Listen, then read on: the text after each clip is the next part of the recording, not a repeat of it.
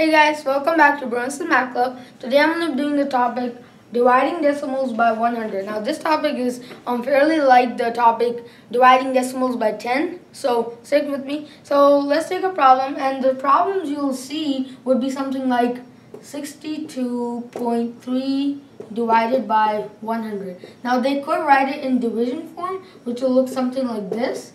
But um, these problems are just to confuse you, okay? The real deal is taking the decimal number, okay, um, um, making it easier so that you can divide it by 100, okay? So let's take the decimal number, which is 62.3, okay? Now you have to notify, now you have to notify each number and its place value, okay? And then divide it, and then divide each number and its place value by 100, okay? So 3.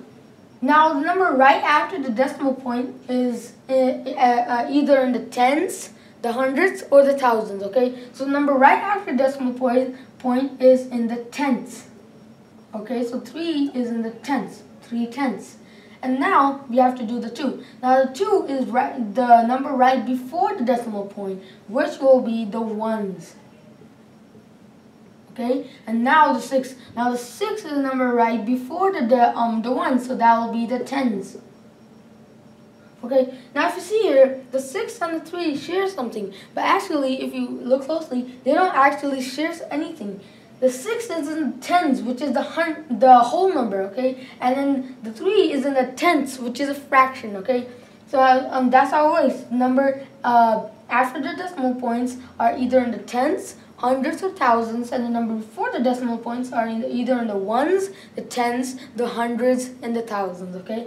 Uh, so now you have to take this, um, the first number which is 3, write it in its place value. So since 3 is a fraction, we'll have to write 3 over 10. Why am I writing 3 over 10? Because 3 is a number and the since is in the tens, you'll have to write the 10 under it. Okay, now we have to divide this by 100. Since 100 doesn't have a denominator under it, we'll just have to write 1, okay? So now we're going to use the reciprocal method, which is um, flipping the second fraction over and then multiplying the two fractions, okay? So 3, 10 times, this time multiplication, okay, and then we flip this one, so 1 over 100, and now we have to multiply Okay, so 10 times 100 will be 1000.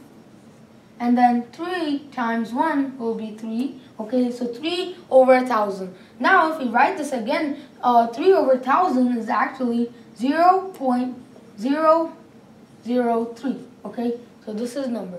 Now, let's divide the 2 by 100. So 2, which is over here, so we'll write the 2, okay? Now we have to divide this by 100, okay? So if we come over here, so now since 2 is a whole number, we'll just have to divide it normally, okay? So 2 and 100. Now 2 is a small number and 100 is a big number, so we have to make the 2 into a bigger number.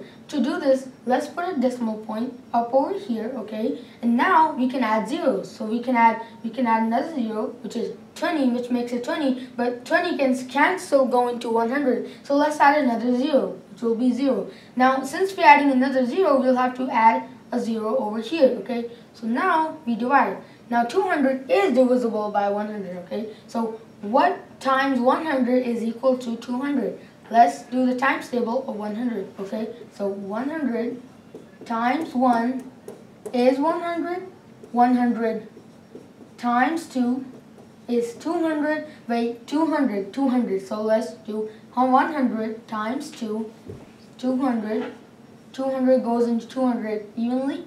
Okay, so our quotient is 0 0.02. So we come over here, okay, and we write 0 0.02. Okay, that's it. Now, let's do the number. Let's divide the number 6 with by 100, okay? So since the 6 is also a, a, a, a whole number, so we have to divide the 6 by 100. But you should know something. 6 is actually a 60 because it's in the tens place value, okay? So we'll have to divide the 60 divided by 100, okay? So we come over here, write it in division form, So 60, 100, okay? So now, um, but if you look over here, 60 is still not divisible by 3. So we'll have to add a decimal point over here and add a 0. Now 600 is divisible by 3, 100, okay? So we come over here and, okay, I'm sorry, I said 3 before, but it's actually 100. Okay, so we come over here and now we do the times table of 3 to find out what times 100 is 600. So 100 times 1 is 100. 100 times 2 is 200.